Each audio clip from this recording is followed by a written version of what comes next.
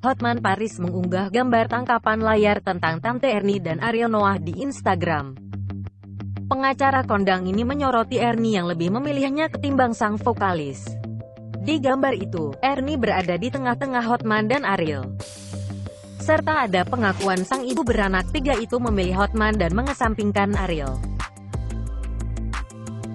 Mungkin aku akan pilih Bang Hotman duluan ya, ujar Ernie saat menjawab pertanyaan Fanny Rose beberapa waktu lalu. Unggahan Hotman pun mengundang gelak tawa dari netizen. Pasalnya, di keterangan foto, Hotman menyinggung Ariel dan membahas soal durasi meskipun tak dijelaskan secara detail apa yang ia maksud. Kok Ariel kalah sama Gus? Apa? Durasi?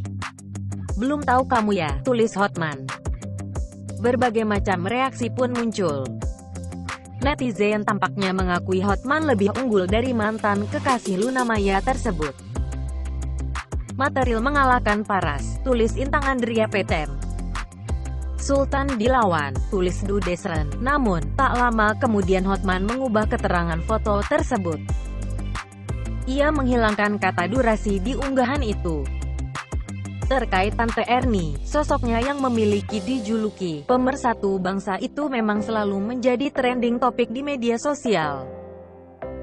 Sosok ibu beranak tiga dan memiliki suami tajir itu menjadi idola kaum pria karena penampilannya yang masih seksi di usia matang.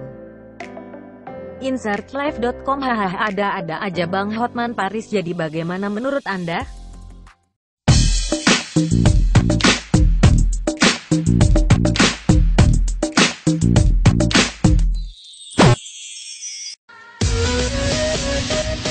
We'll be